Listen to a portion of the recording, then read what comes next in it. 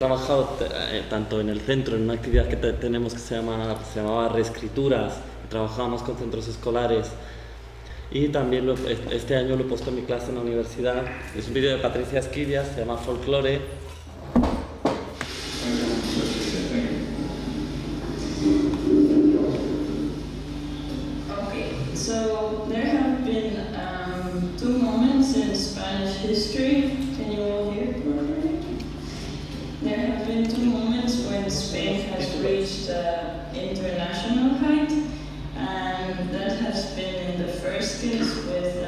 Philip II during the 16th century. Uh, he was the king of the, of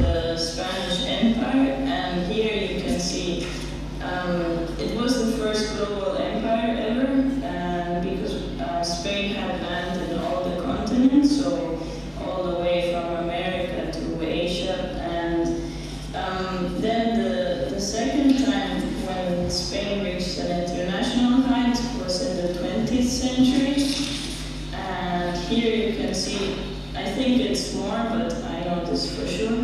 This is the area of um, Julio Iglesias fans. So um, this, this, this is when Spain reached um, the second international height. And um, it's, it's interesting because both of these um, have a lot in, a lot in common.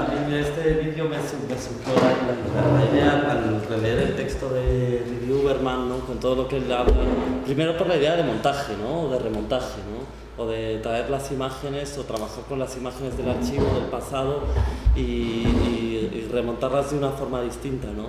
Pero también en, toda la idea de que a nosotros nos ha interesado mucho en el trabajo que hemos hecho eh, educativo que hacemos es de cómo revisar la historia como una narrativa, ¿no? Que puede ser reconstruida, ¿no? No como que las cosas nos las han contado así, así que las cosas han sido así, ¿no? sino que las cosas nos las han contado de una manera, pero eso se puede subvertir, ¿no? Y todo el, todo el trabajo que se puede hacer a través de la imagen, en, este, en esta transformación del, del, de la historia, ¿no? Del pasado o del relato del pasado, nos parecía muy interesante también el, esto que él habla tanto de la imaginación, vinculado como que todos los procesos de historia tienen que ver con la imaginación, ¿no? que no son, eh, bueno, para construir la historia es necesario la imaginación, ¿no? Y aquí, eh, bueno, eh, aquí desmonta un poco la idea clásica de historia, ¿no? Juega con la ironía, o sea, nos interesa mucho también el trabajo que hace con distintas imágenes, ¿no? Que proceden de distintos archivos, ¿no? Y bueno, no sé si mm, a vosotros os ha sugerido algo o algo en relación al texto. Luego también porque nos gusta mucho la, la producción, que nos pasa igual que con Godard, a nosotros nos gusta mucho o nos interesa mucho trabajar con, con low cost productions, con producciones de, la, de bajo coste, ¿no? En el que se borra el distanciamiento que muchas veces se tiene con la creación de arte, por decirlo de alguna forma, ¿no? que parece que siempre tienes que tener o una cámara o, o un super mega equipo, aquí bueno, es un vídeo, hace falta una cámara, ¿no? pero en realidad ella ha recortado unas imágenes y esas imágenes a lo mejor esto se podría hacer de tipo performance si no tenemos una cámara, ¿no? O eso nos interesa, o sea, nos parece muy interesante todo lo relacionado con la imagen, ¿no? El hablar también de cómo se produce esa imagen y cómo es una imagen que puede ser producida por todos, ¿no? Eh, eh, más allá de todas estas distancias que a veces se generan con super mega producciones, que necesitas un HD, un super, una super edición, hacer un trabajo de edición bestial, ¿no? y esto es tan casero que eso nos interesa mucho en los trabajos educativos, ¿no? porque después intentamos activar actividades relacionadas con, con esto de, así. Claro, y algo de lo que también habla en el texto, que me, interesaba en relación a este vídeo, es el trabajo con el humor y con cierto tipo de, con el, sí, con el, con el humor o con el juego también para, para, para, desmontar mitos, ¿no? por ejemplo el mito de la historia, ¿no? desmontarlo a través del humor o este juego, ¿no? de esto también habla en el texto. ¿no? Eh, eso también me parece muy interesante porque es muy subversivo ¿no? a través del de el, el, juego y hace un panorama, hace una lectura de toda la historia de España desde otro lugar que, que, que, que me parece muy interesante. hay una frase que me gustó mucho en el libro que justamente decía lo que estás diciendo, la facultad de la imaginación que percibe primero las relaciones íntimas y secretas de las cosas, las correspondencias y las energías. Como aquel instrumento que sí que acerca directamente ¿no? las relaciones íntimas de las cosas. Sí. Es un poco lo que está haciendo, utilizando la imaginación. Sí. Sí, pero al final es lo que hace cualquier historiador, mm. utilizas tu imaginación, o sea, la, la, imaginación está puesta al servicio de, de la historia.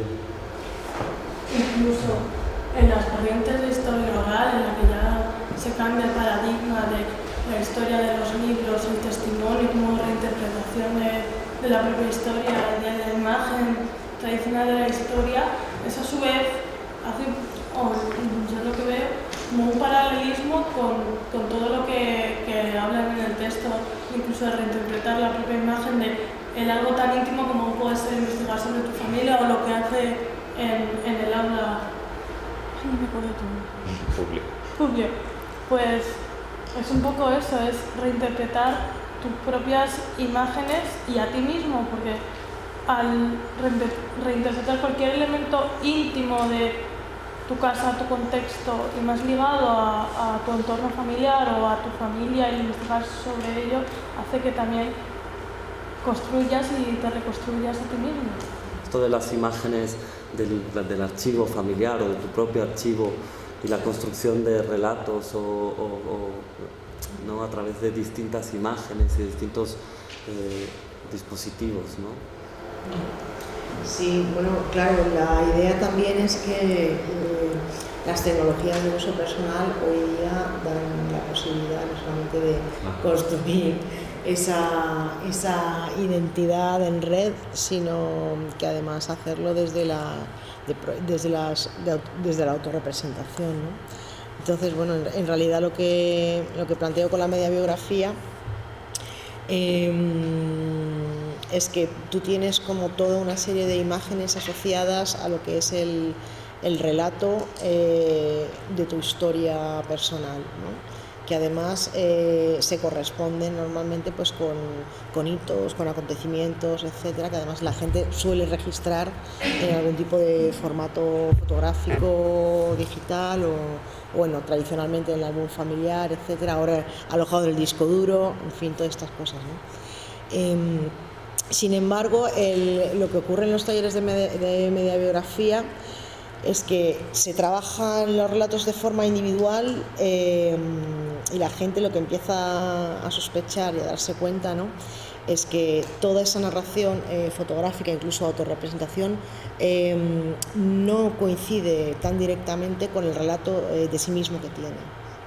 Y eso es lo, realmente lo interesante, ¿no? porque ahí sí que estamos, ahí sí que se ve de una forma clara cómo la, cómo la, la imagen, o sea, la pedagogía de la imagen eh, actúa también de forma como de intentar cohesionar un relato coherente contigo misma o con, eh, o con respecto a la, a la familia, etc. ¿no? Eh, y bueno, es son descubrimientos también ahí que, que, se hacen a nivel personal. Luego, interesantes que son fotografías que tú puedes traer fotocopiadas o impresas tal, se pueden cambiar de sitio, en el sentido del el juego, el desmontaje de la, de la secuencia ya no tiene que ver con una, con una unidad lineal, ¿vale? sino que es, es, tonta, es totalmente... Eh, puede adoptar muchos tipos de forma. Normalmente la gente acaba haciendo como entre o composiciones que a lo mejor son diagonales, es decir, cómo, cómo, se, cómo se organizan también las, las formas de las imágenes, también en sí mismos son, son un relato. ¿no? Y bueno, y lo más interesante de ahí es pasar siempre la media biografía de, del relato individual a ese relato colectivo, ¿no? es un mural eh, colectivo donde se comparten las imágenes, ¿no? Donde mi imagen ya no, es, ya no es la mía, sino que la coloco en tu relato, ¿no? porque tiene más sentido que esté con lo que tú dices que con lo que yo he experienciado. ¿no? Es un poco, bueno, pues son, um, en este sentido, son metodologías experimentales ¿no? de, trabajo, de reflexión sobre la, sobre la imagen, sobre el relato también eh, oral ¿vale? que, que compartimos y construimos. Y ahí sí que a mí me gustaría retomar, ahora que me comentabas esto, eh, también de qué función ¿no? tienen las imágenes en la, en la, educación o qué función tendría em, dentro de esta pedagogía las, las imágenes. ¿no?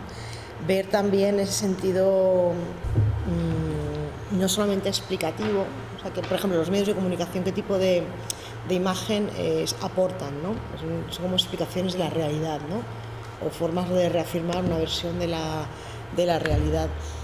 Em, yo estaba pensando junto a las eh, junto a la propuesta que hacía Carmen Mors de, qué tipo de función cumple la educación eh, y la educación artística también. Ella la aplicaba solamente a los museos, pero yo me atrevería a también a, lanzarla digamos, a otros espacios, ¿no? como son la educación normal, normativa, normativa. Ya hablaba de eso, de, cuatro, de cuatro funciones que tiene la educación, la educación artística, y el primero dice que es la reproductiva, ¿vale? que es un poco eh, lo que ocurre siempre, ¿no? que se nos reproduce un tipo de, educación eh, que lo que tiende digamos, como a reafirmar una, una realidad, ¿no? y en ese sentido pues toda la explicación, una, una, explicación lineal de la historia del arte pues funcionaría así. ¿no? Dos, la función reproductiva, es decir, reproducción de un discurso para reafirmar, eh, para explicar una determinada realidad. ¿no? Tres, una función deconstructiva. Claro, sí, también está este, digamos, discurso crítico, deconstructivo, de, eh, que la educación puede ofrecer, ¿no? pero que se quede ahí, que se quede ahí en la deconstrucción y que no es capaz eh, tampoco de, pues bueno, de, ir más allá, ¿no? sino que se, queda como en ese, en estadio de, crítica. No, es que no, no, en este caso, vamos, incluso posiciones así como muy deconstructivas, a veces eh, son más destructivas que constructivas, ¿sabes? Porque, digamos, hacen una crítica total, pero no consiguen luego eh, ofrecer una posibilidad, ¿no? que es por ejemplo todo lo que ha ocurrido con el discurso de la posmodernidad, eh, con la propia teoría de la construcción, etcétera, que son teorías, las pedagogías críticas, eh, entendidas de una determinada forma también, o con una aplicación, digamos, sí, sí, también. que se quedan en la deconstrucción y finalmente una función que podría tener esa, esa eh, pedagogía de la imagen, ¿no? en un sentido de educación artística, sería la de la transformación. Es decir, eh, pasando por esa afirmación, reproducción de construcción, pero para transformar algo, ¿no? para poder de alguna manera llegar a otro, a otro lugar, ¿no? lo que tú decías, eh, construir algo diferente al punto del que partíamos un taller que hice sobre, sobre feminismo, pero en relación a la, danza, se llamaba Danza Revoluciones y tal. Se trabajaba la representación, la identidad, cosas. Y entonces para cuestionarnos, por ejemplo, el sistema sexo-género, nos, nos, pusieron como varias imágenes, así como en, como en el suelo, que teníamos que viajar por ellas, ¿no? Y, nos, y, había, y entonces nos, nos, hacían, o sea, nos hicieron antes de las imágenes como cómo tú diferenciarías al ser humano, ¿no? Pues hombre y mujer, ¿Y cómo nos diferencias a cada uno? Pues chichipito, no sé, o sea, ¿no? las, y entonces luego te ponían como todas esas imágenes de, de, sujetos que no podías en ningún momento, eh, no tenían nada en común ni nada, o sea, como nada diferente, o sea, era muy difícil como seleccionar en, en dos, ¿no? yo que sé, había por ejemplo imágenes de personas obesas en las que tú no podías identificar si eran pechos de mujer o pechos en que los genitales no se podían ver porque estaban tapados por la grasa o, no sé, personas andróginas o intersexualidad, se nos ponían como muchos ejemplos que luego nos volvían a... Entonces hicimos un trabajo de, como de construir, de construir y transformar, ¿no? Como el, transformar tu, tu, idea del sistema sexo-género dicotómico, ¿no? Entonces de repente te volví a hacer la pregunta de, de defíneme ahora, o sea, intenta definirme las diferencias no puedo, porque hay tantos ejemplos aquí que hay ejemplos que son los típicos, la imagen típica de mujer, que ahí sí que podría decir esto es una mujer, pero claro, de repente hay un montón de, de excepciones que no son excepciones, sino que son parte que, que, que no son minorías estadísticas, sino son minorías culturales, con lo cual era muy interesante a través de esas imágenes que vemos constantemente, pero que no, con las gafas del género a lo mejor podías mirarlos de otra manera. Y de repente te hacía, te resultaba imposible de diferenciarnos en, dos, ¿no? Y, y, con esas imágenes, y era muy sencillo, o sea, no eran imágenes, eran imágenes muy, muy, cotidianas también, que no... ¿Qué has dicho que, te, que no sé si te entendí, que navegabais a través del cuerpo vosotras? No, no, que estábamos como viajando, como que estaban por el suelo y que dejaban como que tú investigar ah, las imágenes, pasar, eso sí, no, o sea, luego el trabajo de cuerpo que se hacía era más como de el conocimiento del cuerpo, el, o sea, el empoderamiento a través del conocimiento de tu cuerpo como, como herramienta para ganar espacio y confianza y no sé. Ya por el mero hecho de viajar, seleccionar, eh, empoderarte del espacio, empoderarte de usar tangiblemente tus manos, tus ojos, tus, más allá de ser pasivo, incluso luego en la elección de las imágenes sí que haces un, empoderamiento implícito también al construir, deconstruir, reconstruir tus, la, tu prejuicio hacia o la relación género-identidad propia y, y la ajena.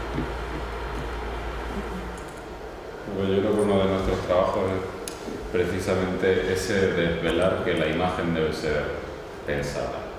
Eso es algo que, como decía antes, eh, tiene tal presencia el imaginario, tal fuerza, que es el medio ambiente.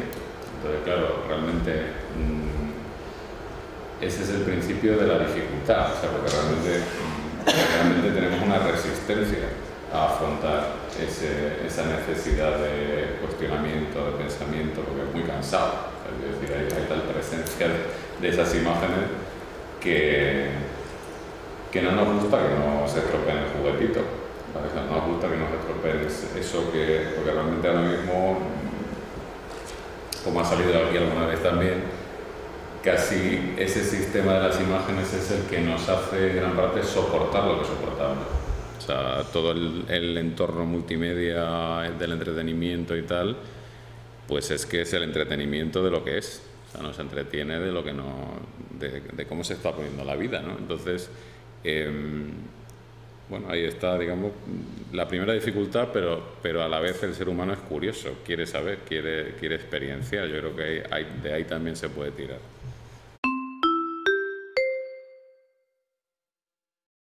Every place has many histories.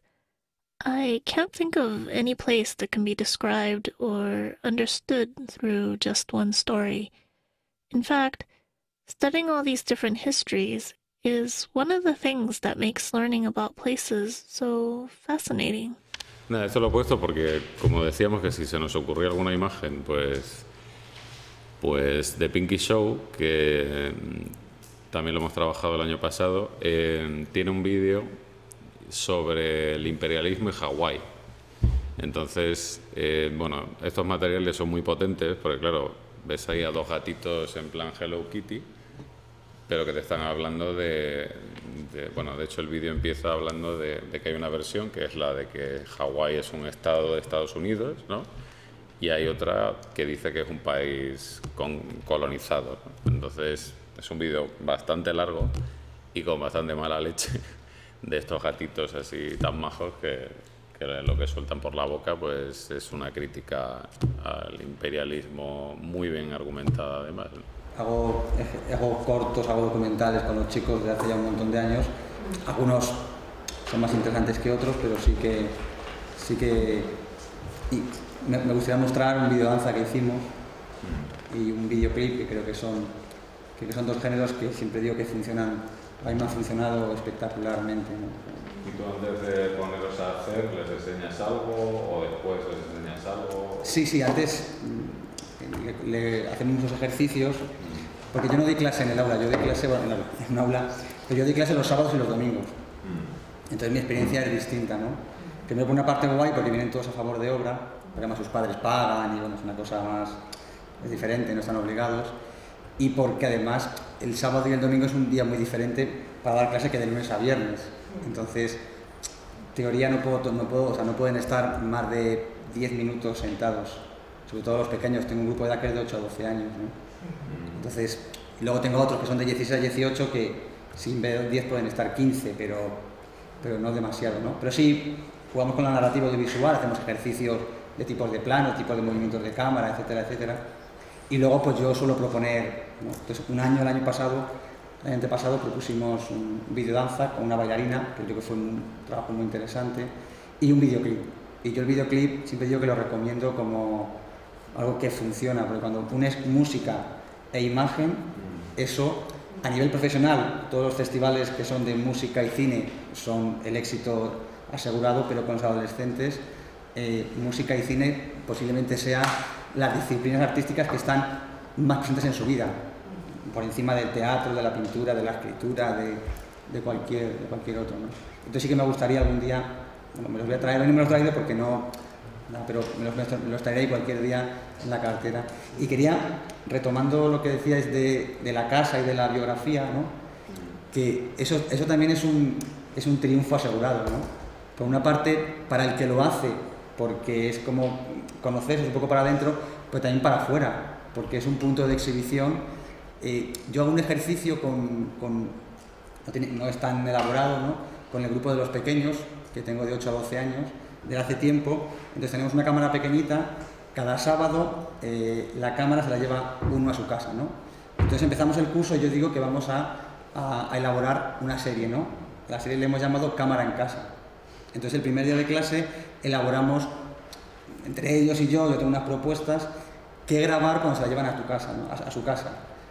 Normalmente suele salir lo, mismo de siempre, ¿no? Siempre lo que más me gusta, lo que menos me gusta, una entrevista con alguien, eh, mi habitación, el libro que me estoy leyendo, mi rincón favorito, etc. ¿no? Y claro, para ellos es muy interesante porque se llevan la cámara una semana, están trabajando, pero claro, cuando llegan el sábado y lo proyectamos, es espectacular. No lo podéis ni imaginar, está todo el mundo, porque está todo el mundo eh, pensando en cómo va a ser la habitación del que ha hecho cámara en casa, ¿no? o a quien ha entrevistado o a veces cuando ya pasamos el turno, pues la, segunda parte a lo mejor es mi portal, mi barrio, y, ¿no? y entonces creo que está muy bien para, para un trabajo interno, pero también externo funciona, porque claro, todos están, eh, vamos a ver la casa del otro, el que está aquí al lado mío, ¿no? Y eso lo hago solamente con el, grupo de los pequeños y es, y es fantástico, ¿no? Entonces, simplemente contar una anécdota de, de todos estos años, lo más curioso, ¿no? Fue una vez que he sido la única persona eh, rica que yo he conocido en mi vida, ¿no? Entonces, una niña se, se, llevó la cámara y, claro, mostró su casa. Tenía ocho años en su casa. Claro, aquello, aún tengo una niña que todavía ha repetido cursos, que, que sigue conmigo y todavía se acuerda, ¿no? Entonces, eso fue, lo, durante el curso no se dio juego, porque era como una chica que vivía, entonces claro, salía diciendo, mis vecinos son Cristiano Ronaldo, no sé qué, no sé cuántos, vivía en una mega urbanización y tenía ocho años. Entonces, eso es a, gran, escala, ¿no? Pero aun cualquier tipo de cámara en casa siempre es espectacular porque, porque todos están esperando para cotillear cómo es la casa de, de todos, ¿no? Y porque además saben que todos, que por ahí vamos a pasar todos, ¿no? Y lo de la habitación está muy bien, ¿no? Entonces, bueno, pues siempre que, que se exhibe eso es, está, está muy bien. Hago algo en clase parecido, lo que pasa es que en mi entorno tengo que decirles a los chavales que solo lo voy a ver porque porque no, tienen ocho años ni nada. Entonces es cierto que algunas, o sea, les, pido para entender el tema de la narración visual, les pido que cuenten un día de su vida en 12 fotos. Y bueno, claro, hay, hay de todo. hay literalmente de todo. Es, muy rico, o sea, yo creo que es muy rico para, para ellos, porque además normalmente lían a la familia en la propia producción de las imágenes, tal. De hecho, yo les pido que tengan una conciencia de quién ha hecho las imágenes, quién hace las fotos. Pero también ves la realidad de lo que hay, o sea, no hay trampa. ¿Por qué les dices que solo las vas a ver tú? Porque hay algunos que tienen pudor de que se vea su habitación o se vea que duermen con dos hermanos o... Se pueden crear diferencias eh, que luego pues eso, durante un curso entero y tal, pues puede machacar no. Eso nos ha... Por falta de aceptación de sus realidades, ¿no? Sí, es una cuestión de... bueno, mm, bueno, aceptación... O sea, que decir, no, no tienen, si tú aceptas esa realidad, no tienen por qué avergonzarse. Ya, pero cuando eres niño o niña... Sí, sí, por supuesto, lo sé, lo sé. Sabes como igual... No, pero a lo mejor, claro, a lo mejor no es una tontería la pregunta porque se podría enfocar desde mm. Exponer tu realidad y... pero bueno, sí. Bueno, yo en, realidad, yo en realidad lo que les digo es que si alguno de los ejercicios se van a exponer en clase, les pediría permiso antes. O sea, no es, no lo voy a enseñar, sino si lo, si lo vamos a compartir, entonces os pido permiso antes y ya está. Porque si no, entonces se cortarían a lo mejor de enseñar una casa desordenada o una cama sin hacer o cosas que, que además no, no, son su responsabilidad la mayoría de las veces. Entonces, Claro, te debes meter en unos percales que al final no es que lo tengas que controlar, pero sí tienes que ser coherente, ¿no? Con a dónde va todo eso y tienes que hacer un seguimiento. Y si te vas a meter tanto dentro de que, que está bien ponerlos en esa situación, pero que quizás no los puedas acompañar en su, en su recorrido. Entonces ahí... Yo se lo explico así, que vamos a jugar, ¿no? Y ellos se llevan una cámara y tampoco, ¿sabes? Vamos a jugar con ella y hacer un poco lo que queráis, ¿no? Y aunque nos ceñimos a unas cosas, pero luego hay alguno que graba luego, ¿sabes? Me lo he llevado de fin de semana, pues vale, pues, pues vale, ¿no? Entonces yo creo que a lo mejor a determinadas edades no tanto el juego, pero a unas edades, ¿sabes? Es como la cámara tiene que ser algo que, ¿no? Yo siempre, ellos a veces siempre están con que la cámara se va a caer, se va a romper, ¿no? Entonces yo les pregunto si alguna vez han visto que se, que se caiga un bebé, ¿no? Entonces cuando todo el mundo que no, yo digo, pues esto es igual, ¿no? Las cámaras nunca se caen, se caen, luego se caen, ¿no? Pero, pero bueno, pero que... pero pero que para mí es como más un juego, ¿no? Yo intento que todo sea más, más un juego, ¿no? La casa, que tal, o lo que, lo que ellos... Todo, todo tiene que ser un juego, ¿no? Vale, es que estaba haciendo una reflexión con las cosas estas que les acabo de pedir a los chavales también que compongan de alguna manera un relato de su vida, que lo hice el año pasado para trabajar línea, con una línea roja, bueno, una, historieta. Eh, y les pedía cuatro escenas de, su vida, resumir su vida en cuatro escenas. El año pasado se me ocurrió, claro, ya que tenían que contar su vida, ir al pasado y hablar algo del presente y como mucho una del futuro. Me di cuenta que su pasado no les interesa lo más mínimo, eh, así que este año les he propuesto centrarse un poquito más en el futuro, pero pensando un poquito por el pasado, aunque sea una sola imagen del pasado, una del presente y un poquito más al futuro. Y me estaba, dando, estaba reflexionando un poco sobre lo que hacen, eh, claro, cómo se imaginan sus propios futuros y claro, caen en, pues, en la princesa, en las hadas, en, en, su boda, en su anillo, en su título, en su cum laude, en su trabajazo, su cochazo, bueno, caen en todos los, los tópicos. Pero se estaba como pensando en, en, esos que sean como aventureros y siempre ponen un viaje, no, pues me voy a Nueva York, me voy a... O a aquel que... Pues, directamente se queda en su pueblo. Y está intentando relacionar con Benjamin esas dos posibilidades, esos dos tipos de narradores, pero claro, sin, sin recordar el texto no soy capaz. Bueno, pues para... No, que me hice un ejercicio parecido también, que era como escribir una carta a una Adriana de, con 8 años y escribir una carta a una Adriana con 65, ¿no? Entonces yo me vi, o sea, además es que yo, yo cuando luego la releí yo decía, pero Dios, o sea, a la de 8 yo era como que le estaba advirtiendo de que no sigas por aquí. ¿eh? o sea, como de, vete por, como dándole consejos a la de 9 años y a la de 65 y era como un sueño de vivo en el campo tranquilamente. O sea, de repente todo unos estereotipos, o sea, como una... Y de repente me vi dividiendo presente, pasado y futuro como en tres bloques completamente desconectados y a la hora de luego poner en común las experiencias de todas, o sea, me di cuenta cómo, o sea, cómo los tres tiempos son, o sea, están, están en el presente, o sea, cómo el futuro era una proyección pero presente y la memoria era una cosa, o sea, cómo, cómo esos, tres, esos tres tiempos se, están totalmente en juego y en movimiento, ¿no? Como, pero que me, me gustó que me plantearan como tres tiempos pa, y de repente cómo, cómo es imposible separar, ¿no? Que están ahí. Más que con el futuro, yo sí que he jugado con, eh, con los deseos, ¿no? Con los deseos de futuro y sí que el año pasado con el grupo de los más mayores, bueno, me metí en un jaleo y al final yo lo que quería trabajar era algo, no era tan, tan teórico, sino que era el falso documental y, y la publicidad, ¿no? Entonces lo que les propuse es que imaginaran un mundo, el mundo ideal para ellos, ¿no? Y que dentro de ese mundo ideal que eligieran algo que quisieran y entonces tenían que hacer un falso documental por supuesto, porque era, era falso algo, y una publicidad, un pequeño spot para contar eso, ¿no? pero que imaginaran lo que quisieran y que, contaran lo que quisieran, ¿no? Y fue curioso porque eh, un trabajo fue un nuevo sistema educativo que le llamaban, no me acuerdo, que era eh, tres días de clase, eh, no sé qué, leer, bueno, estaba bastante, ¿no? Y entonces hicieron un, un spot sobre eso, ¿no? Luego otros hicieron algo sobre el alcohol también, sobre que en España se legalizaba el alcohol de más de 90 grados, una cosa así. Pero luego, pero hicieron un spot que al chico le pasaba, bueno, una cosa un poco también crítica. Y luego otros lo hicieron sobre el cine, sobre el mundo del cine, ¿no? Entonces el mundo del cine cambiaba y los jóvenes hacían películas y todo era como más, más guay. Y había otros que sobre, política. Entonces, otros, otros, un mundo en el cual se podía votar a partir de los 16 años y entonces se formaba un partido solo de, de jóvenes y eh, ellos hicieron un spot sobre, sobre un partido político que se llama Juventus, que era de jóvenes a partir de 16 años.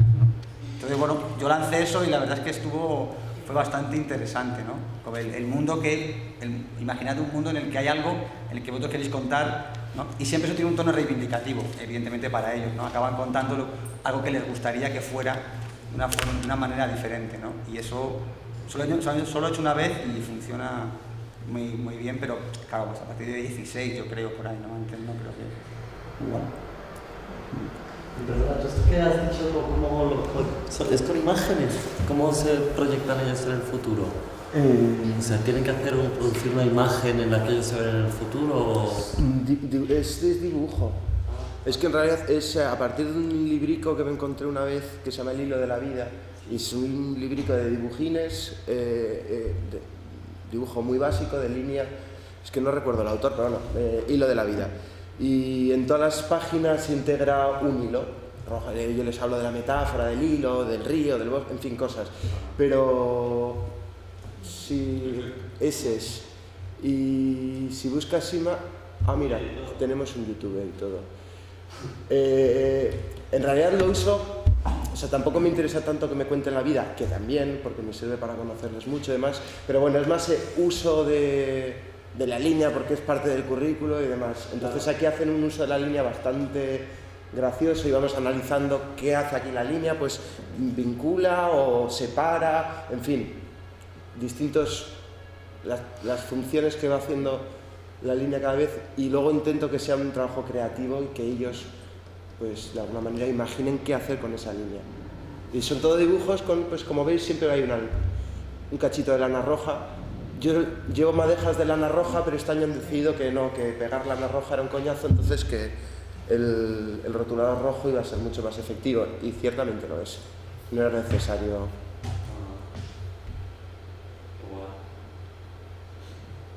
que tiene, tiene alguno, algún ejemplo está muy curioso de este libro, hay otros que quizás no tanto, pero bueno, da, bastante para reflexionar.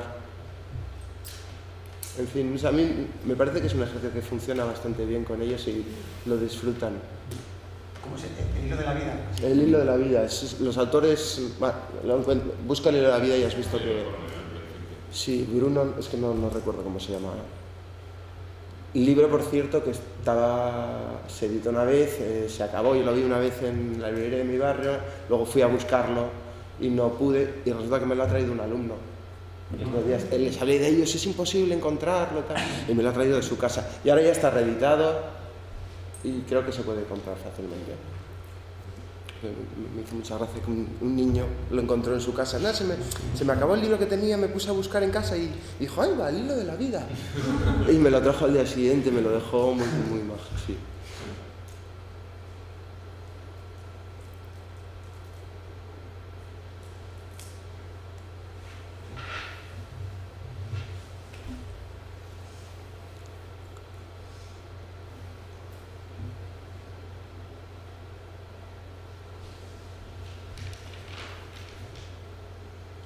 yo estas se las muestro. Yo en realidad les construyo, no les quiero dar demasiados ejemplos porque quiero que sea un ejercicio bastante creativo, entonces les enseño como un aperitivo de cinco imágenes, les enseño esa primera con el cordón umbilical, una última que es también eh, el, oxígeno, lo que sea, o, suero o algo así, esta también se la muestro.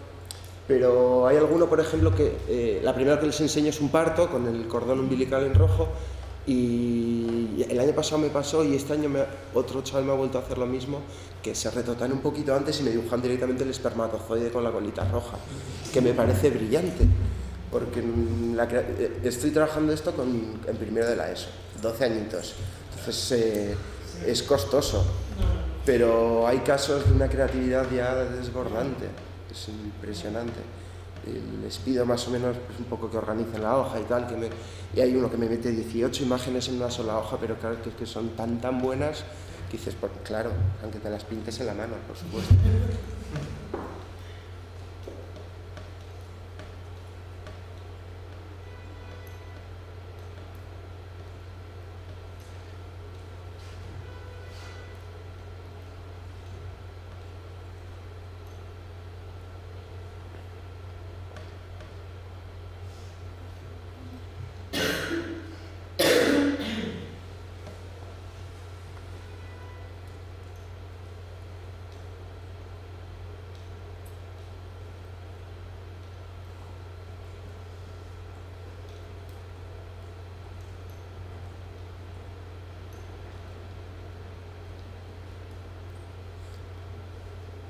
está acabando, me temo esto. ¿Qué? Que esto está acabando. Llega una buena vida y el ciclo comienza de nuevo. lo que sí que tenemos programada es una sesión abierta para que traigáis proyectos o materiales que hayáis trabajado, así que... No, creo que va a ser en febrero. Será en febrero. Será en febrero porque teníamos pensado hacer la convocatoria para también dar tiempo a la gente desde ahora hasta febrero, ¿no? Entonces, la, de, la, de, enero tenemos todavía una cosa en el aire que tenemos que cerrar, pero en febrero sí que habrá una convocatoria para que, mm, bueno, más abierta de, que la de hoy, que era más improvisada, para traer proyectos educativos que tengan que ver tanto con la imagen como con otro tipo de prácticas que se estén desarrollando. ¿no? Y, y, bueno, pues eh, hasta aquí hemos llegado. ¿no? Eh, eh, a, mí hay una cosa que, que antes me ha recordado Víctor, me ha dicho antes de irme, porque hace una cosa que hemos estado hablando esta mañana del texto, que casi es del comienzo y que tiene que ver con algo que, bueno, hemos apuntado, hemos llamado atontamiento, tal, es algo relacionado con la infantilización de cierta pedagogía, ¿no? Como aquí, de repente, cuando exponerse a las imágenes eh, significa exponerse a la vida, y exponerse a la vida significa también exponerse a cosas eh, también violentas, ¿no? Entonces esta no infantilización que hace aquí como cierto alegato al, comienzo de una pedagogía no infantilizadora, en la que, de alguna forma pensamos también que las prácticas artísticas pueden ayudar a trabajar desde, desde ahí, ¿no? desde, desde, bueno, este, que ya redundancia casi del extrañamiento, la producción de extrañamiento a través de ciertas producciones que bueno, te enfrenten a una realidad que escape a tu comprensión, ¿no? Y eso para nosotros es muy importante también, en, lo hablábamos esta mañana, pensar cosas que con los niños no, no sean, sean eh, bueno, no sean infantilizantes, ¿no? Y bueno, era un poco eh, una idea que me ha dicho Vito antes de, irse a, hablar, que es una pena que ya no esté, ya tenía ir, y habla, vamos a hablar, comenta esto, porque esta mañana hemos estado un rato hablando de, del de estas cosas de lo infantilizante, lo que es infantil, lo que no, y que nos ha gustado aquí en este libro, ¿no? En, bueno, en cómo eh, exponerse a las imágenes significa esto, ¿no? Y bueno, no, no, feliz Navidad, feliz Año Nuevo.